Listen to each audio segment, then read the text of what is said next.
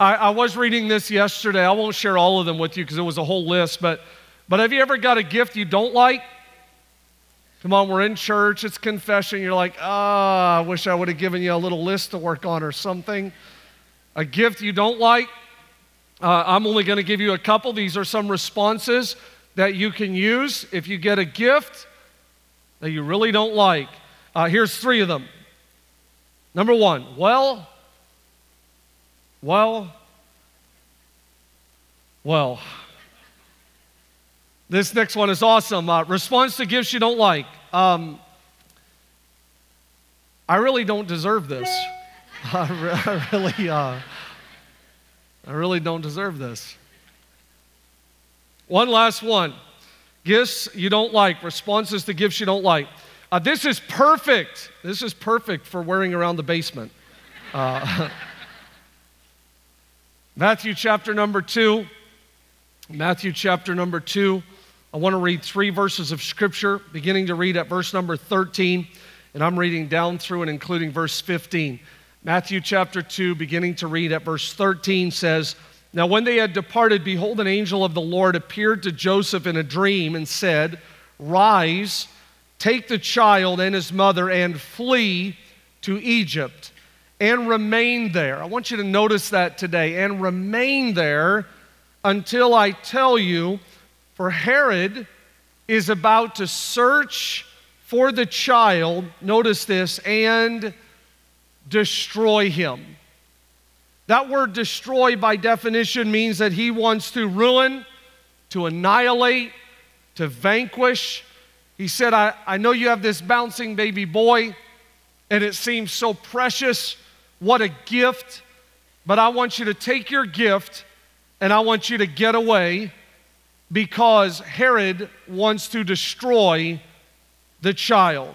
It's as if heaven showed up and all of hell broke loose.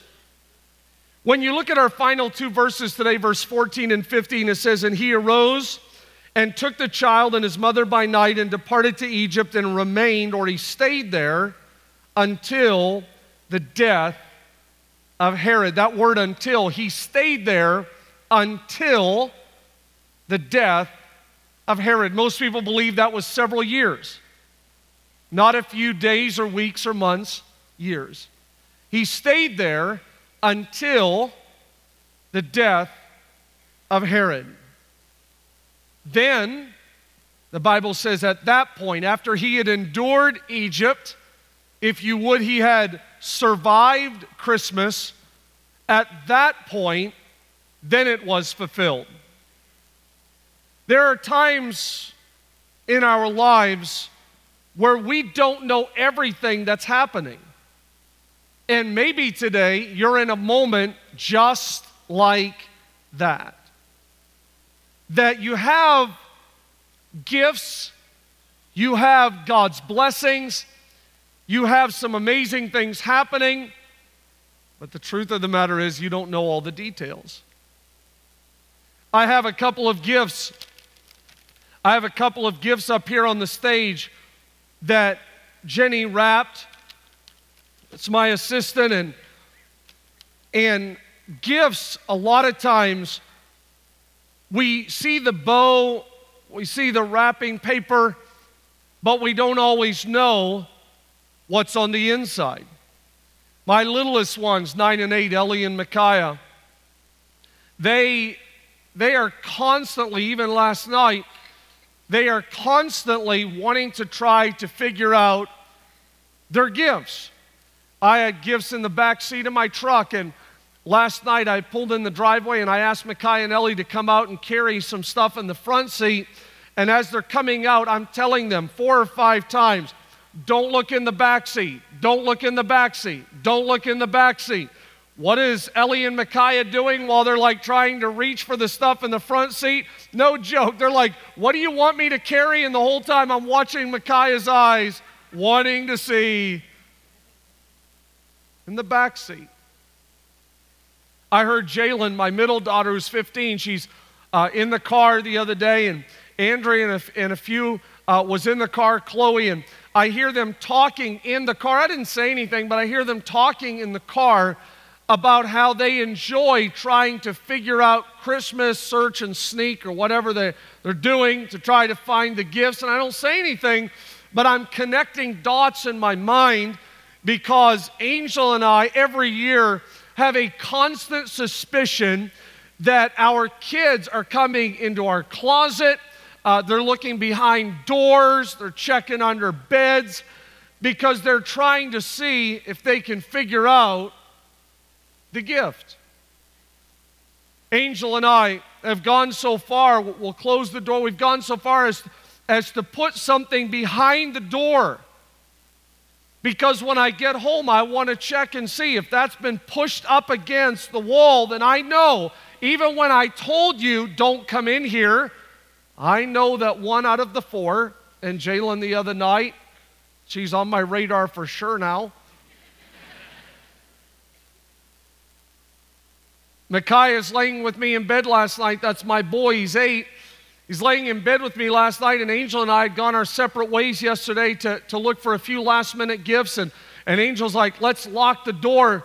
Uh, let's lock the door before we leave to keep them out. And, and so I get home uh, yesterday and, and couldn't even find the opener. Her and I haven't talked about this, but I couldn't find the opener, and I'm going around the house and trying to find something to shove in the door handle to open it. And I, so anyway, I'm laying in bed with Micaiah last night, and I said, I said, buddy, have you, because one of the bags that I put over by, by our nightstand is, is open, and I double knotted it. And I, I'm like, buddy, have you been going through the gifts? Like, are you trying to sneak and find the gifts? And he's like, not today, the door was locked. not today. Tell the devil, no, not today, not today.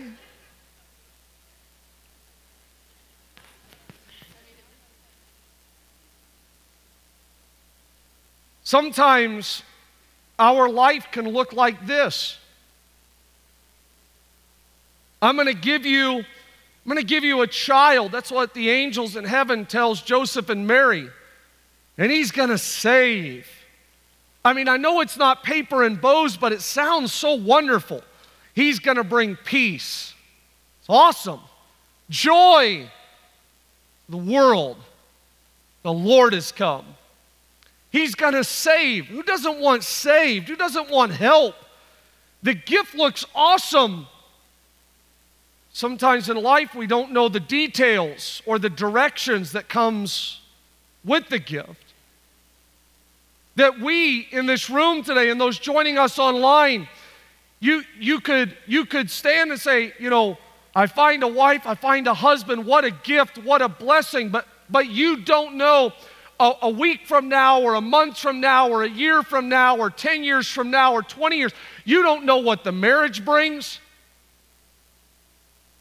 You don't know the struggles you'll face. You don't know the lost job. You don't, you don't know the times you'll sit in hospital rooms together. That, that the gift, the gift sounds good to Joseph. But Joseph, get ready. Because on the outside of the gift, when you're like, oh, wow, this sounds awesome the call of God, purpose of God, the anointing of God, I love the wrapping, love the bow, but you don't really know until you get into it. I mean, on the outside, you, you know, you, those of you that have kids, I have four. On the outside, the wrapping and the bow, you're like looking at names and, and you're, you're designing the bedroom and, and, and you're thinking, wow, this is going to be so awesome. And the first birthday, and you know, you're, you're doing all of those things. But, but when you start getting inside the gift, When you start dealing with your child who, who could potentially be rebellious, you start dealing with that son or daughter in an addiction or a habit. I know we want all the details on the front end. We think. I know you want to figure God out. You think. I, I know on the front end, you want Him to tell you everything about your life. But the truth of the matter is, I, I think if you knew all the details, I'm not sure you would want the gift.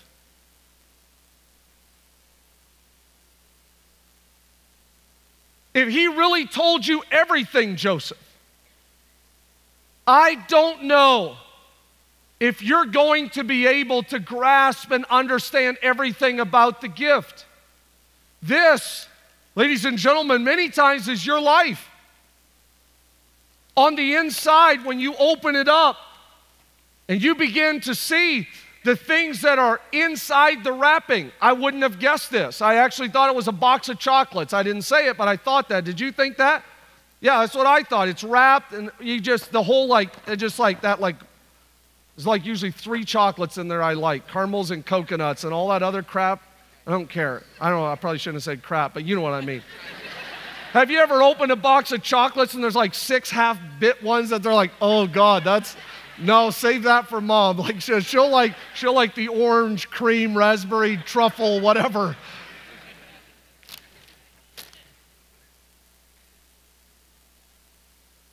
You don't know till you get in it. So you could be thinking chocolate and it's cologne.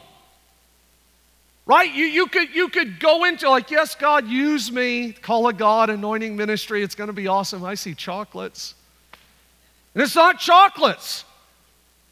You could be thinking all of these areas of your life and what it's going to look like.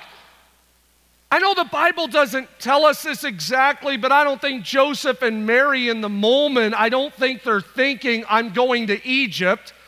You know, they're hearing things like the Holy Spirit's going to overshadow. That sounds beautiful to me. The Holy Spirit's going to overshadow. God's going to do what only God can do. Actually, Herod's going to hate you and try to kill your kid. Sometimes what we're thinking, we want the blessing, but we don't want the bounty on the baby. We want God to do great things in our life, which He does. This babe is born, this babe grows up, he has wisdom, he, he, he has understanding. Ultimately, he says yes to the plan. He hangs on a tree, and you and I are all here today because he shed his blood and forgave us of our sins, and we are celebrating today because of that. But in between the beginning and the end, and the resurrection and, and, and success, and saying yes, there's all kinds of moments that I would call surviving Christmas. Surviving Christmas. It's the element, it's the element of Christmas to where we sing about the good, we do kids' programs and plays about the good. We talk about the star, the shepherds, the worship, the gifts, the joy, the, leaping babies that when Mary walks in, Elizabeth, her baby is like, wow, this is fantastic. We want to high five about the peace and goodwill. But I've met a lot of people over the years who don't want to be rejected at the end. They don't want to go through seasons of not getting the song or the solo or the position or I've met people who want to quit because life doesn't always go right. That they're like, I, I signed up for the inn, I didn't sign up for the stable. I've met those people. I've met people who want the angels and the shepherds and the wise men and the gold and frankincense and myrrh, but they don't want Herod's hate and they don't want Egypt's experience. They don't want that. It, it, it's, it's like saying, I thought it was chocolate, but it's cologne. I thought marriage was going to look like this. I thought parenting. I thought church. I thought my life. Pastor Micah, I never dreamed I would be single at this juncture or point. I never thought I would be dealing with my child at this place or position. I didn't know it was going to look like this. I wanted all of the celebration, the nativity scene. When you look at the nativity scene, you don't drive by no businesses here in town and see a guy going with a knife or a spear looking for babies to kill. Like, that's not something that goes over well. You see the mom and dad, and you see the gold and frankincense and myrrh, and, and the shepherds and the animals, and they're going to make a movie out of it. There's no one setting up the Egypt experience out in front of their business because we don't always want to hear about surviving Christmas. But the truth of the matter is, right now, someone's surviving in your row. Someone online right now is hanging on by a thread. Someone feels like Joseph, that everyone else seemingly has the peace and goodwill, but Joseph goes over two years without hearing from God again. Two years. We want to hear from God almost hourly, like, God, just keep telling me you're with me, right? Like, keep telling me I, I, the peace and the happiness and the joy to the world, like everything's okay, right? Multiple years he goes in a place that is symbolic of sin and shame and slavery. We don't always sign up for surviving Christmas. When you look at the passage of scripture that we read, I want you to see on the screen the layout of what God told Joseph to do and what his response was.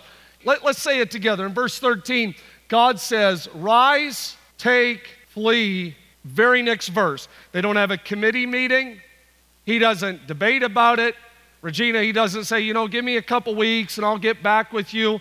I like that the very next verse, it's the next day, it's out of this dream encounter. Look at his response rose, took, departed, remained. Let's read it again because I want you to see how, how almost perfect obedience, if you would. So sometimes in my life, I won't put the pressure on you to say this, I'll, I'll put it on my own life that sometimes I want the details. Don't wrap the gift on me, God. I don't want to see the bow and the paper. You just need to tell me on the front end it's cologne. Don't, don't make me think chocolate and then turn it into cologne. I want to know now what's life going to look like? What's the church going to look like? What's the budget going to look like? What's staff? Like, I want to know on the front end. That's not, that's not what Joseph gets. He doesn't know how long it's going to be. He doesn't know it's going to be several years. He doesn't know he's not going to have another dream. He doesn't know angels aren't going to show up or shepherd and wise men. He doesn't know any of that. He just knows that God says, rise, take, flee, remain. And when he wakes up, his response is, rose, took, departed, remained. The lesson learned for all of us Christmas Eve 2017 is God Help me to trust you in the moments I don't misun- I don't understand. In those moments of, of misunderstanding and confusion, help me to trust you then. Help me not just to serve you when the shepherds are showing up. Help me not just to be excited like I exalt thee when wise men are coming with gold and frankincense and myrrh. Help me to hallow your name when Herod's hating my kid. Help me to serve you and to follow you, even when I go long periods when it seems like I don't hear from you. When you look at enduring Egypt or surviving Christmas, everyone say surviving Christmas. Here's what I want you to know, notice as, as we wrap up the passage is that the first thing he did was listened. He listened. He hears heaven talking, and he listened. In 2017, I think life can get so busy. TV, movies, technology, phones, billboards, and signage, and promos, and advertising, and schedules, and sports, and Revelation would say in reference to churches and time passing that we needed to be careful, that we would continue to prioritize listening, listening to what the Spirit says to the church. If God talked to you today, if God said, pay for that lady's groceries in the line behind you, if God was to speak to you and say, you know what, I want you to go to that single parent and bless them today. God was to talk to you right now and say, I need you to forgive. The greatest gift for Christmas is that you would stop holding a grudge. I want you to forgive them. Right, like, right, do you hear that? You see, this whole story's for naught.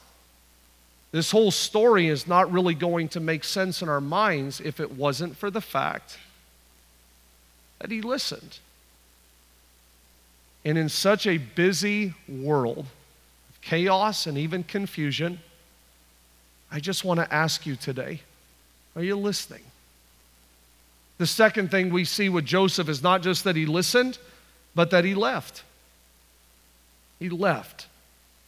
If we had time today, to take you through all the times in the Bible that people left. I began to make a list, and I, I won't go through all of them with you, but, but people that left boats and nets and lands and negativity. And some of them even left the, the, the, the comfortable situations of family. And some of the Hall of Faith guys all left those kind of moments. Peter, in one instance, says, Lord, we left everything. That's what Peter said to Jesus. We left everything. Joseph models that, that you need to listen and you need to leave some stuff. I know it's not New Year's, that's going to be next Sunday, but, but in this Christmas message, could Joseph's story remind us that maybe there's some things you need to leave? That, that there could be a sin or an addiction or a habit, and your, your breakthrough is going to depend on your willingness to leave. I realize it's 2,000 and some years later, but but maybe someone listening to this message today needs to be reminded that, that when God calls you to leave a thing, that it's important that you're listening and that you obey. He listened, he left, and then he lasted. Or as the Bible said, he remained. I have shared with you the timeline for that and how it's important that you just stay. You just stay that you need to remain. You can't, Joseph, you can't get upset when you're in Egypt. You can't get upset when you're in Egypt like, God, okay, why didn't you move in two weeks? I'm ready to go. Like, uh, it's been a month. Hello. Come on, God. Six months.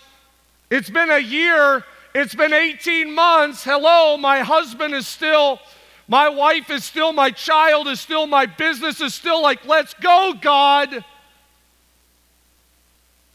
He remained until.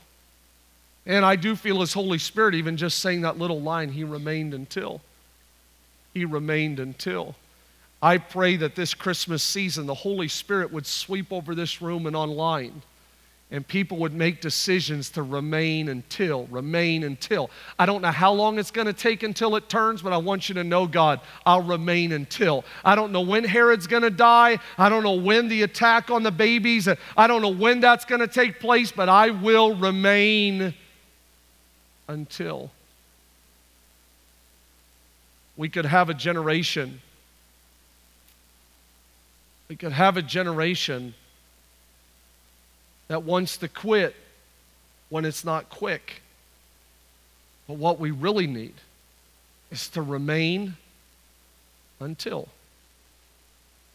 10 years ago, 10 years ago this month, Pastor Ethan actually found this, this CD. Him and Jenny was going through stacks of old CDs, and Pastor Ethan texts me, and he's like, I found a CD 10 years ago, December, and, and he started sharing with me he started sharing with me that, that he was actually driving in the car and listening to this clip and, and started to, to tear up listening to this clip. And so I, I came in the next day and, and played it in the office and, and wanted to play it for you today. How many of you have ever received a word and you have not seen it come to fruition yet? It has not come to pass yet. If you've ever got a word from God, if God ever told you that He was going to do something in your family or in your life or in your finances or in our church, and it hasn't happened yet. I could raise both hands just for City Church because I've had all kinds of people that have prophesied about land and buildings and how they saw us with a thousand people and two thousand people and Bible colleges and all these things that numbered in great amount of numbers. I could raise both hands just for City Church today of words that have been spoken over just our congregation. But we were in Groveport, and uh, this guy had just come from London, Dr. Jeffers, didn't know us. I've never met the guy before. He began to talk about our church, and he said, he said, I, he was the one that said, and I came home and typed it up in my laptop, but he said, I see your ministry running 2,000 people, but God said, not yet. He said, God said to tell you that it's not going to happen yet because you need to stabilize what you have on the inside before He's going to give you that. Now, it's awesome when we can celebrate, Vicky, the words that we've received that have come to pass. But I know that there's people that are still holding on to some words that they haven't seen come to pass yet. I've had three different people that have prophesied to me through the years that I'd preach in Africa. I've never been in Africa a day in my life, but I still want my word. City Church don't look like it's 2,000 people today, and our finances don't look like we just got so much, I don't know what to do with it. But I still want my word. Some of you that you have heard or you have felt that God impressed on your spirit that He was going to give you a spouse, and yet you're not even dating anyone right now. I want you to believe today, I still want my word. Is there anyone today in your life that you would say, I still want my word?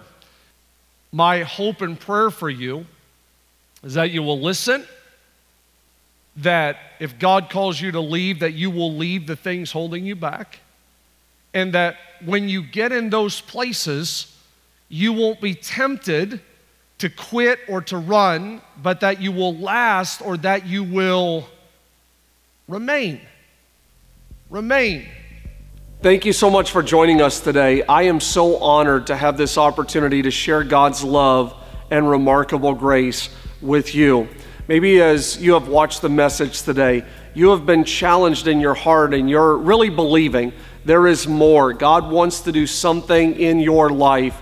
And I would love for our team to pray with you right now. There's a number on the screen. Please take a moment, call that number. Let us pray with you that God will continue to give you the strength and give you the help as you move forward in your life. If you have prayed the prayer for Jesus to come into your heart to save you, we would love to give you a free book entitled Following Jesus. You can call that same number and we will send that book to you for free. Again, thank you so much for taking time to join us today. Each week, we receive calls from all over Ohio, places like Columbus, Cleveland, Youngstown, Akron, just to name a few. We hear these amazing stories of people's hope being restored, relationships with Christ being renewed, and people really just overall being refreshed by the message. Today, we're asking you help Storyside help Ohio. Help us to help someone in your local community. You can do that today through your giving. You can give one of three ways. You can visit our website, storysidechurch.com. You can download our app for free, or you can text the word give to the number that's right here on your screen. Now, we don't have any way of being able to pay or give our way into heaven, but we can definitely help someone else get there.